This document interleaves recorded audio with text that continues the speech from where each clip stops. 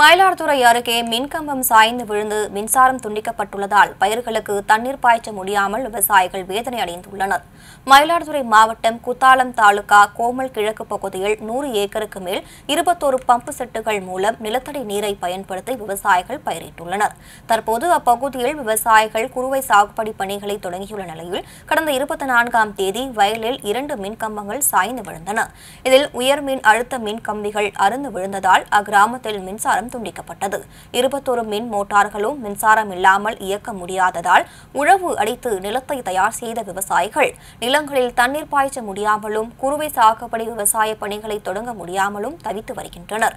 உடனடியாக மூன்று மின்கம்பங்களை மட்டும் நட்டு வைத்த மின்வாரி அதிகாரிகள் மின்கம்பிகளை போடாமல் கிடப்பில் போட்டுள்ளதால் நூறு ஏக்கரில் விவசாய பணிகள் பாதிக்கப்பட்டுள்ளதாக விவசாயிகள் வேதனை தெரிவித்துள்ளனர். இந்த பகுதியில் கிட்டத்தட்ட ஒரு ரெண்டு டிரான்ஸ்ஃபார்மருடைய கண்ட்ரோலில் நூறு ஏக்கருக்கு மேலே நாங்கள் சாவடி பண்ணுறோம் நான் ஒரு எட்டு ஏக்கருக்கு விதை விட்டு வச்சுருக்கேன்.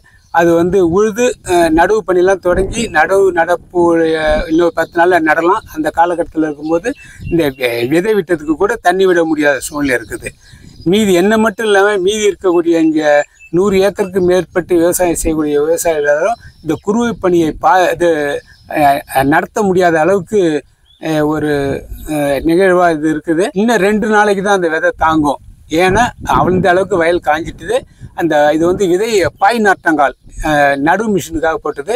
அந்த கீழே தர காஞ்சினாக்கா அந்த நாற்று எல்லாமே சுத்தமாக பயன்படுத்த முடியாத சூழ்நிலைக்கு வந்துடும் இன்னும் ரெண்டு நாளில் தான் ரெண்டு நாளில் பயன்படுத்த முடியாத சூழ்நிலைக்கு வந்துடும்